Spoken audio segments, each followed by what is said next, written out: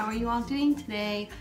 Um, so I guess I'm going to do this. um, I don't know.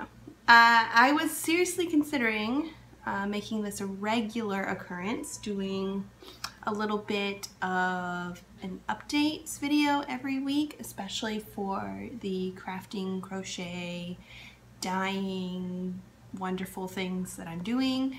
Um, I'm thinking about moving this to a second channel, mm, like creating a whole thing, uh, a whole channel dedicated to a weekly update video for my shop business and also just for the crafting community in general. Um, I've been super, super enjoying um, watching podcasts. I have loved watching the Dye Another Day podcast, the Dyer's Notebook podcast. I've been binge watching those. I just started watching the Strings and Moore podcast, Yarngasm podcast. I've been watching, what's the other one? Inside Number 23. Um, all of those are, you know, dyeing or knitting um, in general, crafty goodness. Uh, I've subscribed to a few other podcasts that I'm trying to get a feel for and see if I would really like. I, I know they're called podcasts, so I suppose if you take the audio from these videos and put it on iTunes as a podcast, it would count as a podcast. I've always seen these as like vlog type videos or, you know, um, because I've been into the whole, you know, family vlogging community and I've been into like watching other types of vlogs like beauty vlogs or like DIY blogs or whatever. So I'm interested to do this not only because, well, mostly because it's really fun. It's fun to put together these videos and it's fun to kind of show everybody what I'm doing and show kind of like an update and it also keeps me very accountable for the things that I'm creating. So if I have a deadline for myself that I'm trying to you know, crochet something or knit something up that I actually do it by my deadline and I do it so that I can show it to everybody else uh, and not just have it for myself. So, um, yeah, if this is something you'd like to see, I'm seriously considering it. I'm doing this as a second, oh, the mug. This is my favorite mug of all time. Um, this is my second second mug of this. The first one, the handle broke. And we ended up finding a replacement like four years later. So, um, but yeah, if this is something you're interested in, definitely give a like, subscribe. I may pull this off into a second channel just for the sake of keeping my first channel that I was starting to build was more around like mom things and parenting and cloth diapering which hasn't really I haven't really felt very inspired to create on that channel which is or this channel for those reasons which is why I haven't posted anything um, and then the most recent posts that I had, aside from this video and the previous update video, were just, you know, knitting up a blank and doing a review on a knitting machine. So, I mean, I'm feeling much more inspired in this realm than I am in the whole mom parenting realm. So, I'm thinking, I'm thinking I like it. I'm thinking I'm enjoying. So, let's just get into it. So, as far as life updates or anything crazy, nothing's happening. It's just normal everyday, mom life, Cece's playing on her iPad, parenting win, hashtag parenting win right there. Uh, Tucker is napping and so I can film.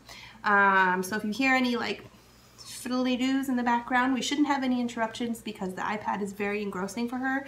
Um, so you'll hear in the background some like singing or weird music. That's her favorite game. But yeah, other than that, there's not much going on. I've been doing some work for a local photographer, which is one piece that I have in my finished my finished work. Um, and then I'm all, I also do consignment for a boutique in, in Sherman Oaks, California, which is Earth Baby Boutique. I'll leave a link below and I'll put a link in the cards for their boutique. Um, but I do, you know, more parenting oriented things, gifting things that I, I crochet. So I have to get some stuff out to them this week.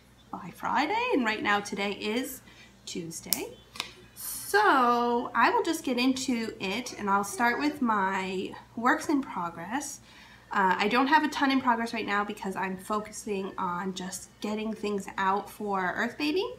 But one thing I wanted to show you is this. This is the beginnings of a bowl. Uh, I make these out of t-shirt yarn and this is crochet.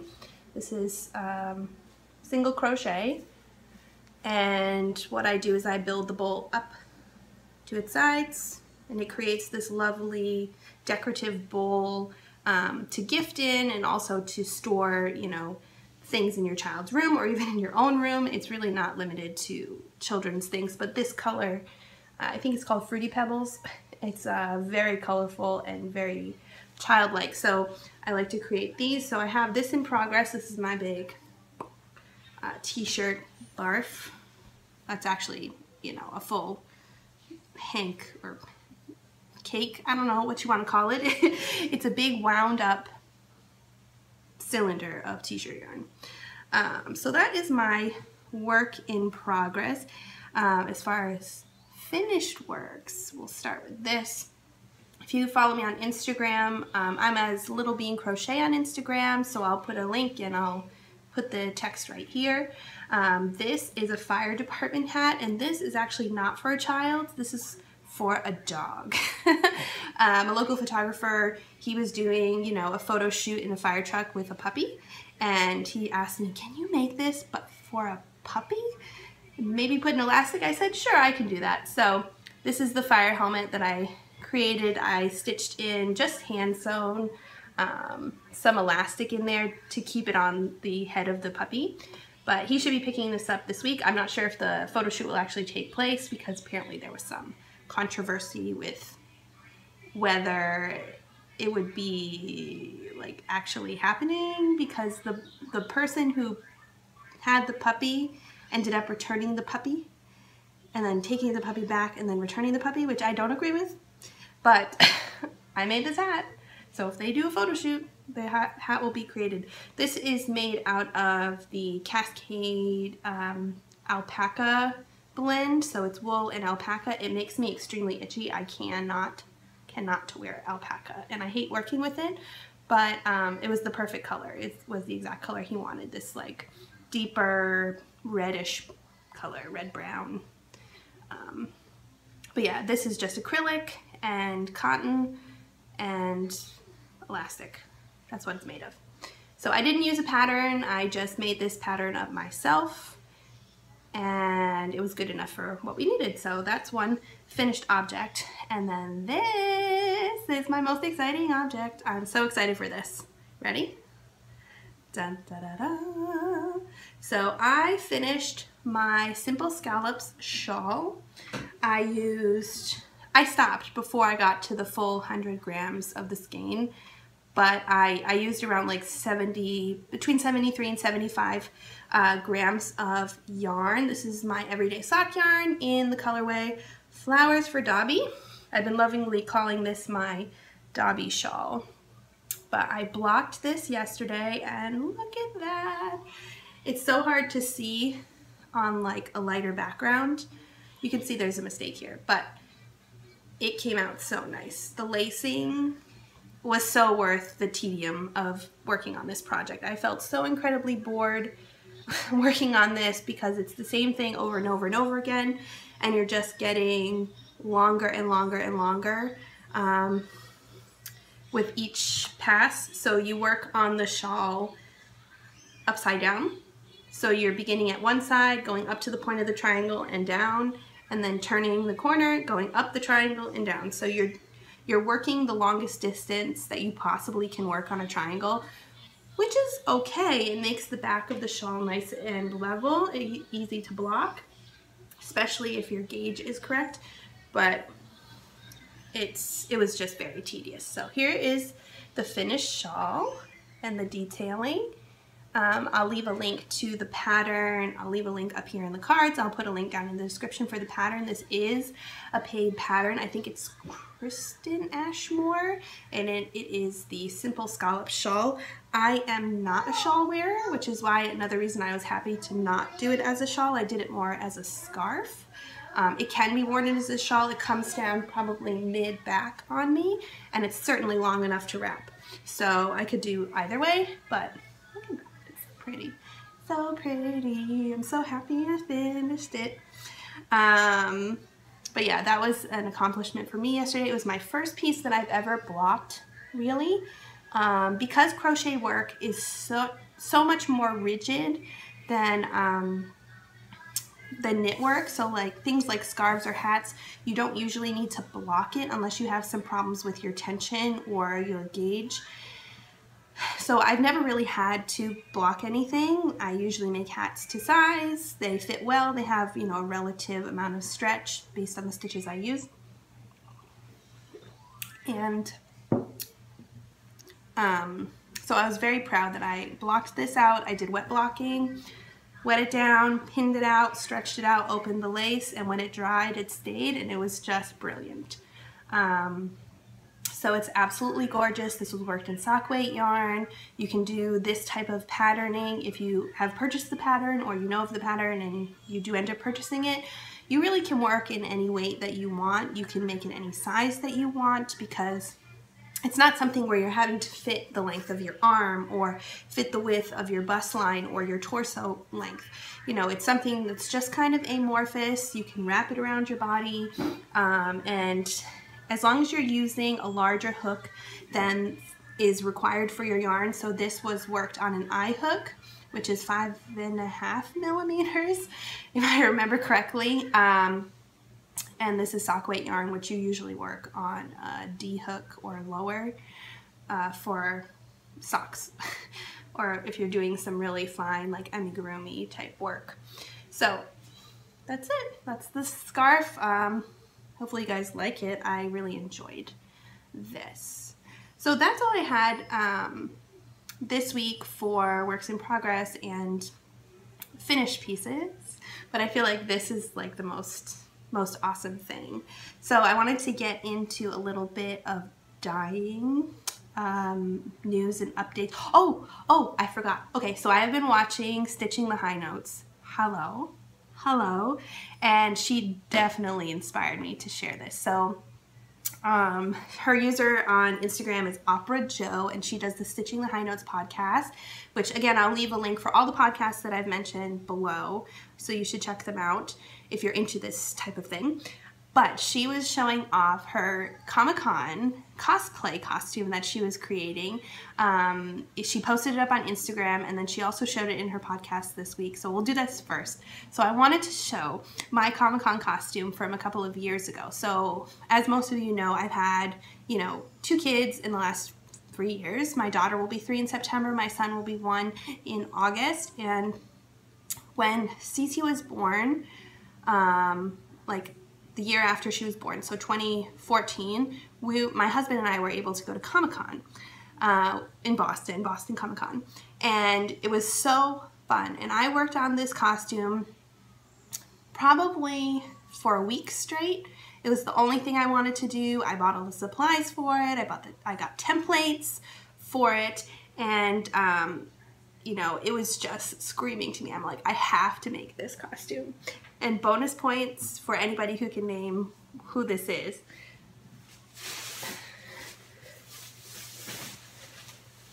So, this was my costume. It's still in wonderful condition, so I will be wearing it again whenever I can get out to Comic-Con.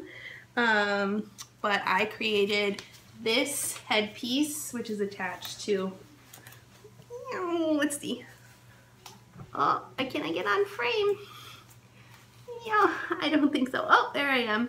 Uh, which is attached to this mysterious fabric. This fabric, I am not sure what it's called, but it's that really silky synthetic polyester fabric that is, this is so big, uh, that is um, used in Halloween costumes for like capes and things like that, but I wanted something that was really black, really, you know, not translucent, so kind of opaque, and something that was like really heavy drape. So that when I wore it, I was very, um, so it followed the line of the costume. So this is No Face from um, the Miyazaki film um, Spirited Away. And he is awesome. so he's a character, he doesn't speak. He's a spirit in the movie and he is, I don't know how to call, what to call him, if he's like a demon or, but he, what happens is he, he feeds off of people's greed and he he is, he always offers things and if you take it from him then you know he eats you and you become part of him and he becomes this like all like grotesque creature with all like the worst things about all the people people characters who are in the bathhouse. And so when he encounters Chihiro he like she doesn't take things from him. And she says no I don't need those things. Thank you. I'll do it on my own. I'll do you know I'll make this bath on my own. And they end up becoming kind of friends. And when he finally comes down from this whole entire like I've possessed everybody in the bathhouse he actually is quite docile and he likes you know to do things. So he ends up going with uh, Zeniba who is Yubaba's sister. She lives in Swamp Bottom and he ends up living with her. So anyway, this is No Face. And so when I dressed up as No, I'll put this down now.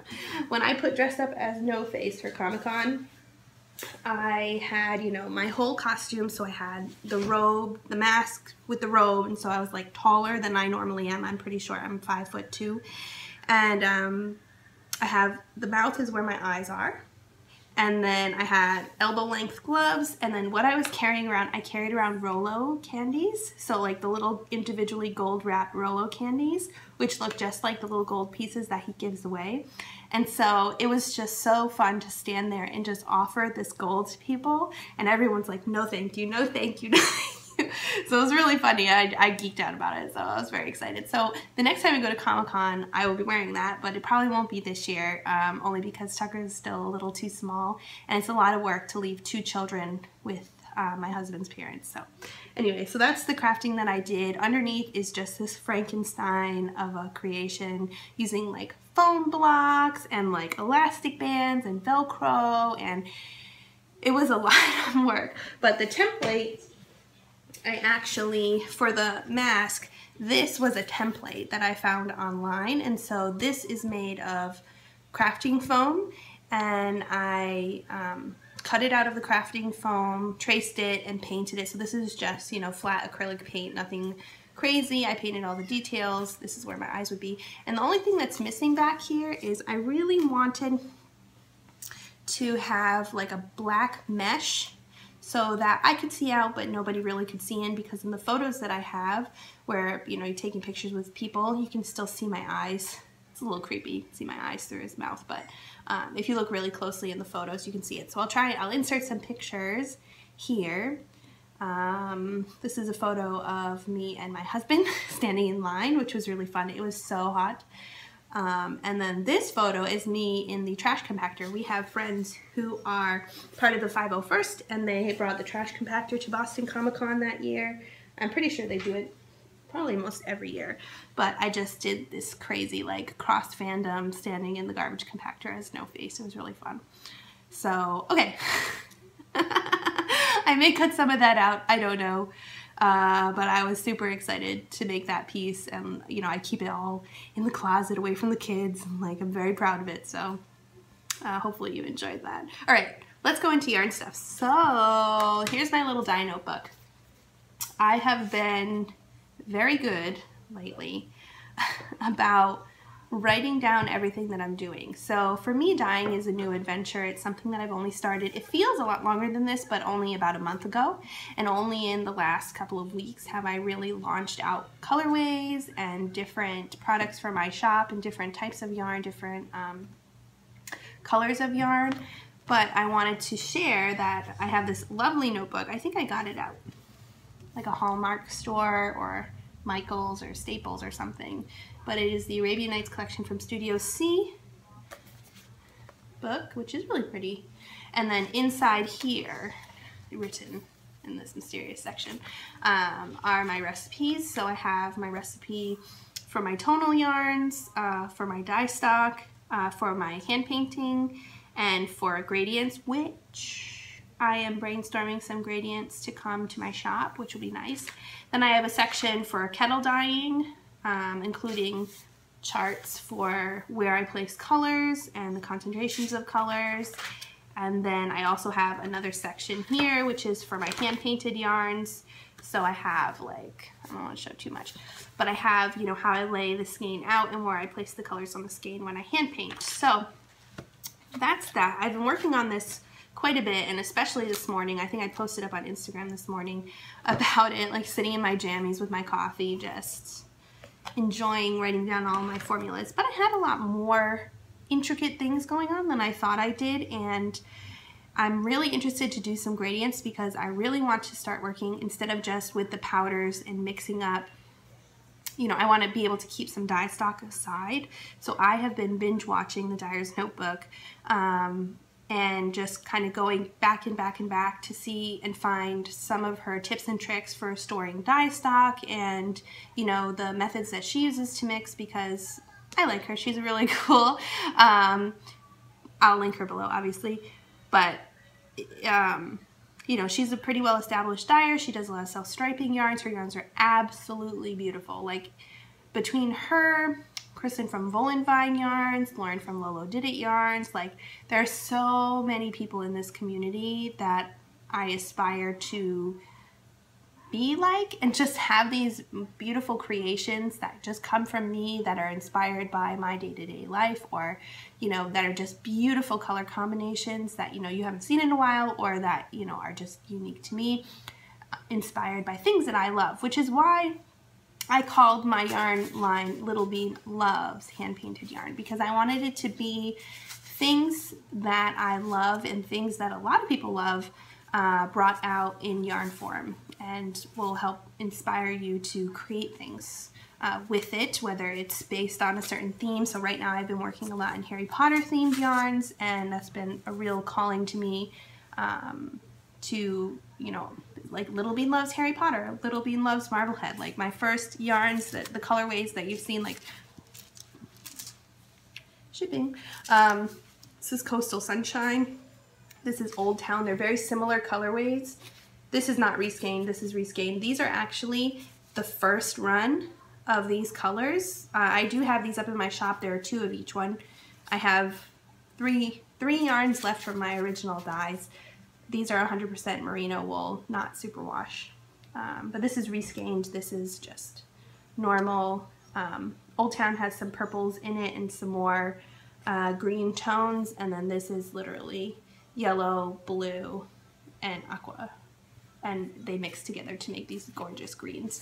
So um, anyway, so that was the inspiration for the name of my yarn line because my business is Little Bean Crochet. That's who I've been on the web for quite some time. Uh, my little crochet shop. I've kind of dipped my toe into different things, crafting different things, but just like knitting or any other type of craft, you kind of hit a wall at some point where you just don't feel inspired anymore. You're making the same things over and over again. You're coming up with new ideas and either they are a hit and people love them or some people are like, wah, wah, like how much marketing can you do for the same, you know, the same beanie that you've been creating for the last like four years. Just, it, it it just felt a, lo a little bit humdrum to me, which is why I really got into dyeing because I'm like, you know what? This is something I've always liked. I have a minor in fine arts and I did a lot of painting and drawing. I mean, if you see in my house, like we have, if I don't know if you've watched any of my other videos, but like you can see we just have paintings around the house. Some of them are ones that we've done, some of them are some that friends have done, but it's something that kind of permeates my life at least. Um, working with colors and textures and just, you know, kind of bringing out the best of whatever medium I'm working in. So I really, I really love wool yarns and I really wanted to try it and I was so afraid that it was going to be the most difficult thing and I wouldn't be able to do it and I wouldn't be able to invest time and money, especially with the kids and I'm a stay-at-home mom. So, um, so really the inspiration for my yarn line was coming out of this kind of funk in my business and you know wanting to express myself in a different way and share with other people the things that I love and really inspire other fiber artists whether you're a knitter, crocheter, spinner, you know, if you felt things, if you just take yarn and make rugs out of it, I don't know, you know, other people who work in fiber mediums to be inspired to create things with the yarns that I'm making. And so I'm hoping that I'm achieving that. And, um, but yeah, I do love hand painted yarn and I find it's so weird. Let's talk a little bit. So in the crochet community, like it's a lot of people just working with craft store yarns and the same type of patterns. And I feel like, I don't know if there's really a huge chunk of the world missing out on handmade yarns and like hand painted yarns, or if it's I don't know, I find like it's much more heavily saturated in the knitting community and it, it's really opened up my eyes because I've always worked in whatever. I buy independently dyed yarns, I buy commercial yarns, I buy wool, I buy t-shirt yarn. Like if you if you watch my last update, you know, I have tons of yarn. I love to experiment and to do things that are different and I feel like so many crocheters are just, they're working in baby gear and they're making baby blankets and they're using Red Heart Soft or they're using Caron Super Soft and like, it's just this like it's just uninspiring. Like how many times can you work with the same colors or the same medium and you know be okay with it? I mean, you're just working in the same weight yarn, doing the same things over and over again. And like I feel like not a lot of crocheters, at least the ones that I'm connected with, use independently dyed yarns and use yarns that are inspiring, that are different, that aren't the norm. And so I really, I want to find people who are like me, who like to do things like this, where you can't find this yarn in a store. You can't find this color and how it patterns up in a store because I made it, you know?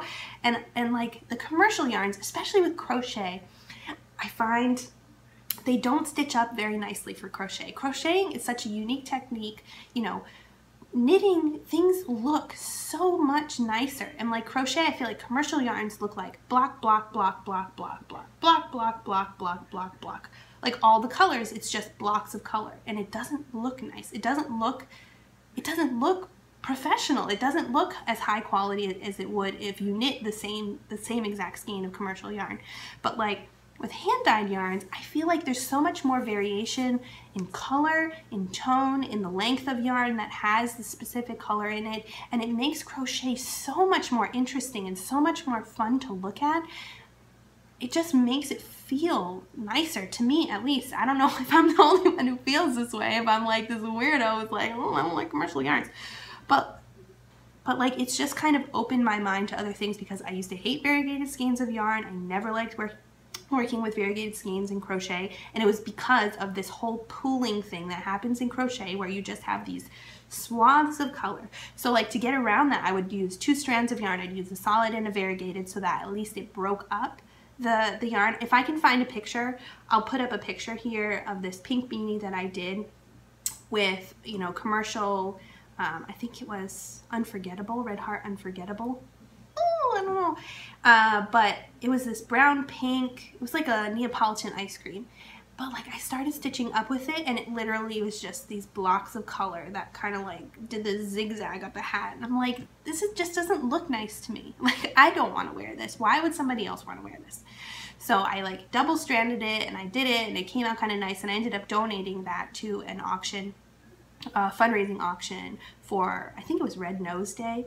But um, yeah, it was just, I don't know, I just feel uninspired by commercial yarns because they're so much the same. Like I could get, I could dye two skeins of this colorway and get two different feels out of the same formulations of dye, placing the dye in the same manner in the pot. Like you're gonna get different results and different feelings, but it's not gonna be this like block, block, block, block of color. Like the colors are gonna blend more together. You're gonna have a, a much different feel using something like this versus using commercial yarn in crochet. In knit, I feel like it's a little different because you're really weaving, you're weaving the fabric together and you're not creating these like building bricks. Like knitting, I feel like is more this coming together of the yarn where you're just weaving the yarn in and out of itself.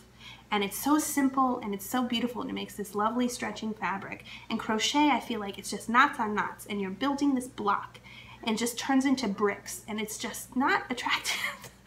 so like that's, that's really part of the reason why I decided to dye my own yarn. One, for my own personal use, and two, to inspire other people who are like me, who don't like commercial yarns, who are so bored by what's out there. Like to use something like this, this is not going to look like a commercial yarn. This is going to look interesting. This is going to be fun. I actually might pull this colorway off of the shop and just stitch this up myself into a shawl just to see how it looks.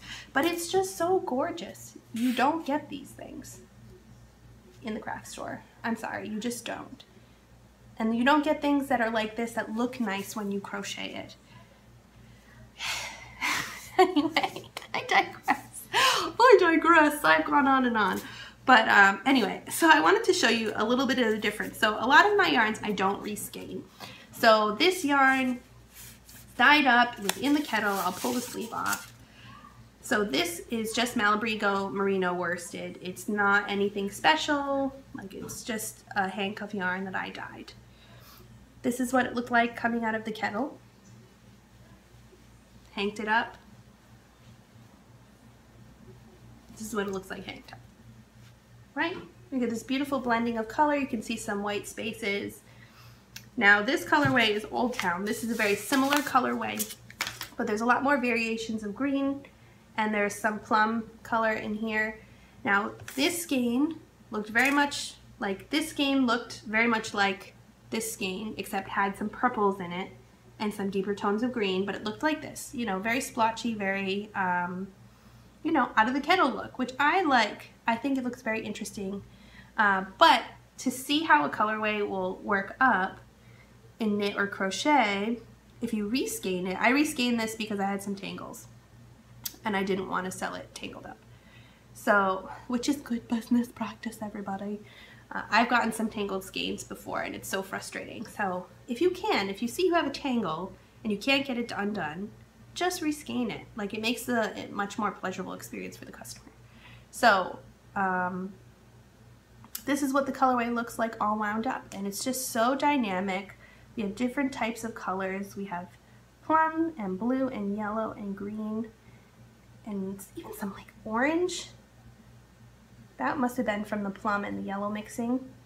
Uh, but it's not going to stitch up like block, block, block, block of color. It's going to be this, this beautiful varied fabric.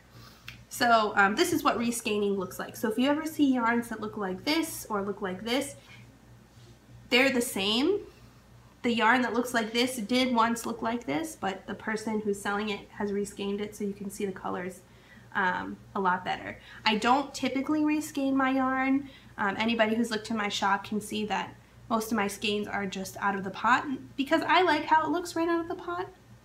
Um, but it is easier to see what a colorway, like how much white, because you might be intimidated and be like, oh my gosh, there's so much white in this skein. But like this skein has the exact same amount of white as this skein. No lie. Before I reskeined it, it looked a lot like this. It had a bunch of undyed portions or lightly dyed portions and it turns into this. So don't be intimidated. If you see a skein that's extremely colorful and has some patches of white, like for me as a crocheter, I hate yarns that are white. I, I would hate them. I would just leave them. I don't want to deal with it. I'd rather just have blocks of color. I don't want to have just bare yarn because it just comes out like block, block, block and doesn't look nice. looks blah. So I used to be intimidated by things like this, but with independently dyed yarns and kettle dyed, hand painted yarns, usually if you're going for a true variegated skein, having bits of white like this is not is not the end of your project. You know, it really brings a new lightness to your yarn. Um, anyway, I digress. I don't know why I was talking about that. I just, I just felt it necessary to talk about reskeinin because for me as a consumer, before I really got into this whole arena and like learning about independently dyed yarns and kettle dyeing and different methods of hand dyeing, I would have looked at a skein like this and been like, there's no way I'm gonna like that. No way. But it really is like this and it's not it's not like your typical variegated skein that you get at a commercial yarn store. It's a, a skein that's truly random. It's truly varied. And like you have, you know, certain areas where colors will pool or blend in a certain way, but it's not, it's not commercially dyed. When you hand paint a yarn, you lay it out on the table, you're placing colors in certain areas, you're gonna have more um, repeats that are consistent and more pooling. So I'll put a picture here or pop it on the screen of a shawl that I did. I did the Classy Bitch shawl by Mama Chi crochet designs which it's a very simple stitch it's beautiful but I did it in this colorway that I did called Peach Highlands which is not up in my shop um, but it's more of a pooling colorway because I the way I dyed it was a dip dye so I took the yarn in the skein and I dipped it into the pot so that the bottom was darker the top was lighter. I layered different colors on it. I hand painted on it.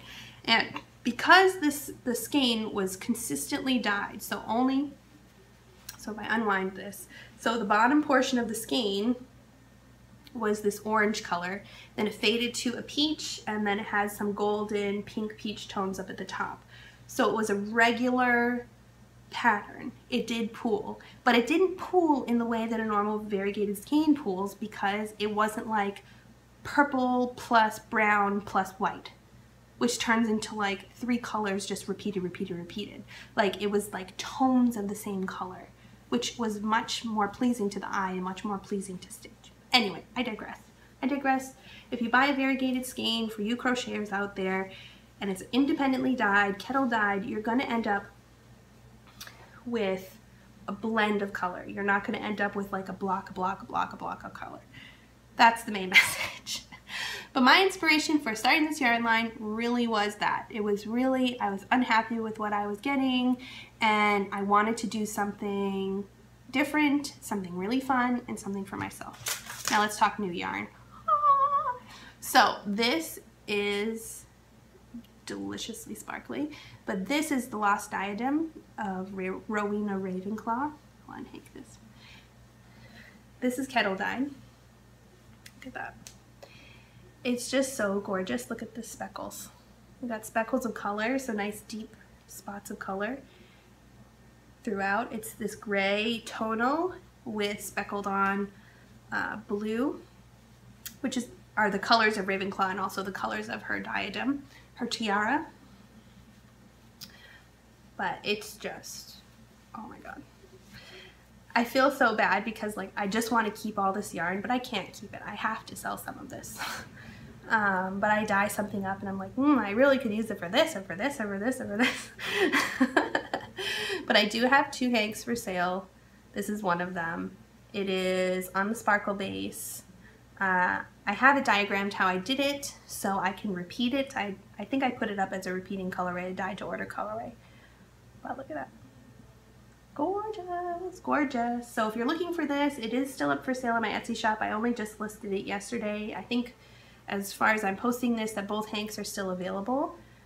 But if you're feeling inspired by Harry Potter, check it out. It's quite lovely. It was quite fun to dye, so I'm excited to dye it again. Um, put the right sleeve on the right yarn. So, anyway, feeling super inspired to share everything today. I hope you enjoyed this little chit chat. I hope you didn't mind my little tangent because I tend to go on tangents. It's just, just how it goes. Um, I'm now running into close to 40 minutes. I hope I didn't bore you too much. So if you like this, if you're interested in seeing it, give a like so I know, subscribe. Um, I'm definitely thinking about pushing this content to another channel so that um, the people who are really interested in this specific content will be flooded by any other content that I choose to post. Um, and I'll try and link everything that I can down in the description box. Um, the the cards in the corner. If you see the little eye that's in the corner of the screen here, if you click on that, there are specific links that will take you to different um, different websites or um, to different channels on YouTube. And um, that's it. So I hope you enjoyed and I will talk to you guys soon. Bye!